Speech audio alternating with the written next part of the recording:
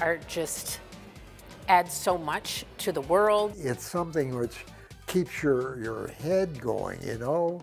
I think that we make things because it's the way we understand ourselves. There's such a wide variety that people can look at the catalog and say, wow, I never knew the Art Center was doing that. this place is really cool because you can put your creative ideas into action.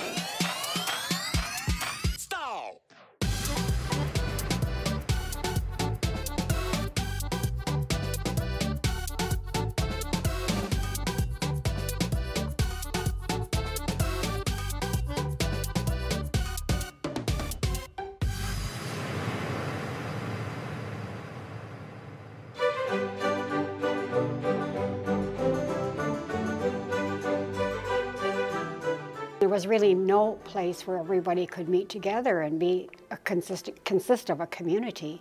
And so the Art Center was, well, it was called the White Bears, uh, you know, Arts Council at the time. And so that was the focus, to bring people together to communicate and to function as a community. It was a pretty small group to start out with, but then they really got um, a lot of events going for the visual arts. And I thought, gee, that's really impressive because here's community that are out of the uh, realm of education, but in the realm of promoting creative things like the arts. So I got involved in a lot of those things, and that's how I got involved with this logo, and I designed that, and, and uh, uh, that worked out, and uh, fortunately I was able to find one, and I'm never thinking I'd be looking up 50 years later. We uh, had the offer from uh, Mark Sather and the uh, City of White Bear Lake to offer programming in the Armory for art classes. And it, that was at the moment when we changed the name from the White Bear Arts Council to the White Bear Center for the Arts. We wanted to be a lot more than just a visual arts center and we wanted to expand into a lot of different types of media and and uh, and it's it's great to see that they're still doing that. Well, I just think they became more inclusive. I think that was an important part that we did the visual, we did the music, and we did the writing, and uh, the creativeness of, I mean, it was such a strong creative community and things were just hidden away. I mean, everybody did their own little corner and then all of a sudden everything just started coming out of the woods and everybody was just kind of astounded how much creativity there was out here.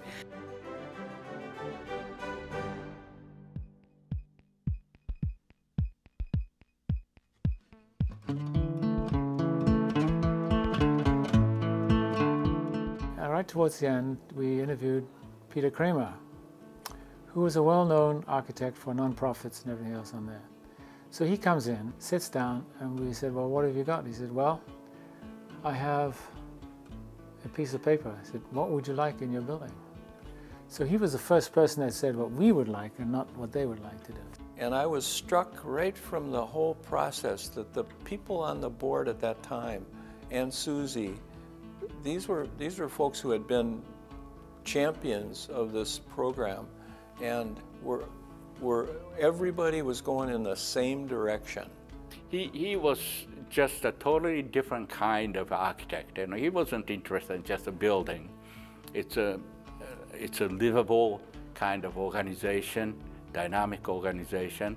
How do we go about, you know, who benefits from this, making this place? So we're in a, in a great position. This building has created this flow of people. And one of the things we noticed was a lot of people that came in and says, well, I didn't know this was here. A great facility both for a classroom and also for exhibitions. And one of the things that I uh, always notice when I am at any kind of an event there is that it's packed.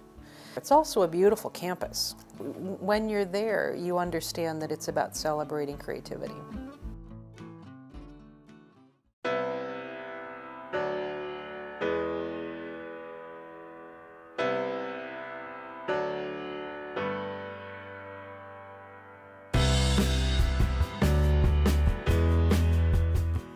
White Bear Lake Art Center is a place where you can use your creativity and your artistic ability to make whatever you want and have fun with it.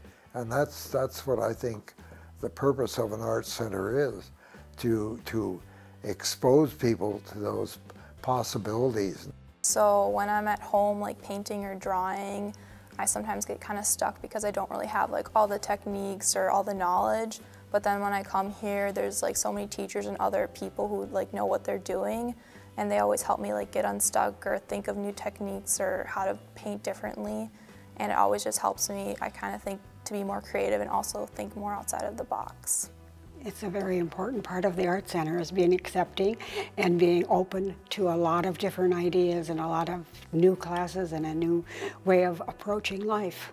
I know that in this Art Center you'll see a lot of people that are normally not artists, but they need, they finally fulfill that. I've had a student that I had once and she came here and uh, she said, I'm finally back to taking care of myself. and so they come here.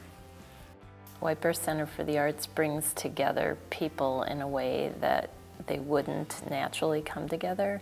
It has this wonderful sense of community, but it's a eclectic group and a diverse group of people that are coming for different reasons, and um, they might not cross paths otherwise, so I think there's lots of value. I think it's also important for different groups to be able to use that space as a group and learn and grow together around the arts people see art differently. They appreciate art differently. And so to be able to share those different perspectives brings us together. I think the arts have a, an important role to play to help um, build awareness, to help people understand one another and be in community in a way that um, a lot of times we don't have a chance to do.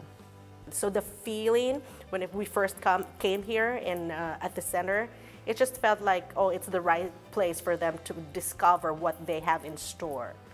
So it's, it's good, it's amazing.